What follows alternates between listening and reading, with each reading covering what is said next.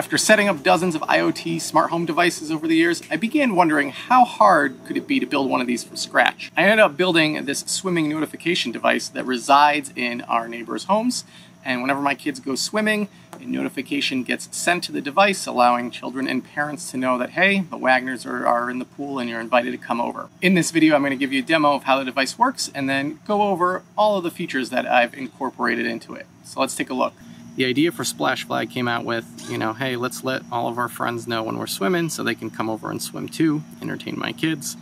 And the original idea was to get some kind of actual, um, you know, physical flag to put in the driveway um, so people would know to come over.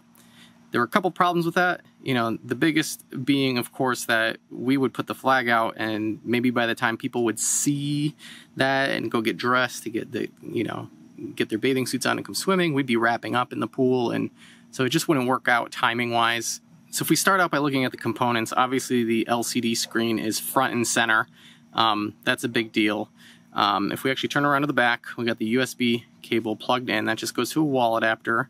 We have a servo motor here um, that actually raises the flag. So now instead of a physical, you know, flag hanging out in our front yard, we've got a digital flag uh, that can be raised. Um, inside, this all runs on an ESP uh, 32S3 Nano, and that controls all of the messaging and everything else. Uh, there's also some, an um, MQTT server running on the back end that actually is sending out the notifications. One other feature I forgot on this, uh, case you may see this kind of inset button here, this is actually does double duty. It not only clears the message, uh, so in case you know a parent doesn't want a child to see that the neighbors are swimming, they can quickly press it to uh, clear that message out.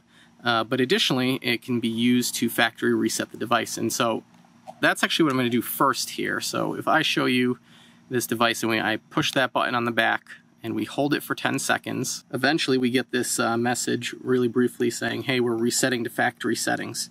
And so what happens then is the device will reset itself, and when it starts up again, it'll go through a little boot sequence, tell us the firmware number, um, and since we just did a factory reset, it doesn't know how to connect to the Wi-Fi. So we get a little message saying, you know, connect to the Wi-Fi. So if I switch over to my phone and go to the Wi-Fi settings, we will see the splash flag device is available and unprotected. So if we actually go ahead and connect to it, this will connect, and then the captive portal code, um, which is running on the device, right? It's intercepting the iPhone's DNS. Um, well, it's intercepting the DNS, and so it's redirecting the iPhone to this login page.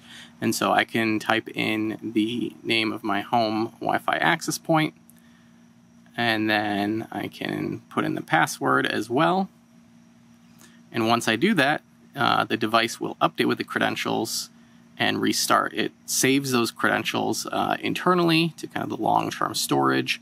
Um, so even after it restarts, right, it maintains those credentials. You can see now the second time around after it reboots, Splash Flag has connected and is awaiting pool announcements.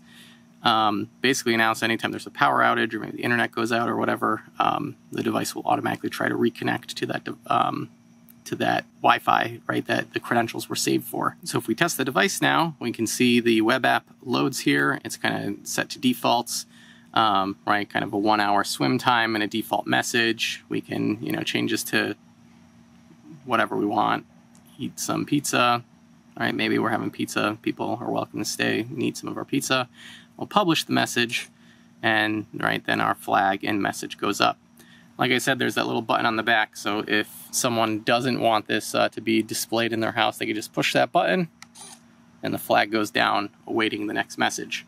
Uh, there's also this debug mode, uh, which sends a message to a different MQTT topic. You can see here, kind of the, the topic is listed on the screen as splash flag slash debug.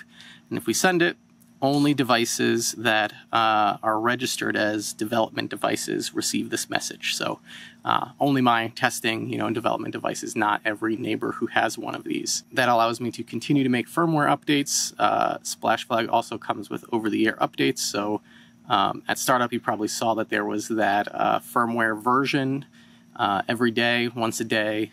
The hardware checks for is there a new release on GitHub of the software and if there is, it downloads it, installs it, and uh, everyone's devices stay up to date. This case, you'll notice, is 3D printed. Um, I did that all from scratch. It was my first really kind of complicated project. You can even see some lowered text in here that uh, I just, I don't have a multicolor printer, but I just printed uh, in multiple passes and then super glued it all together. Uh, but I'm really happy with how this came out.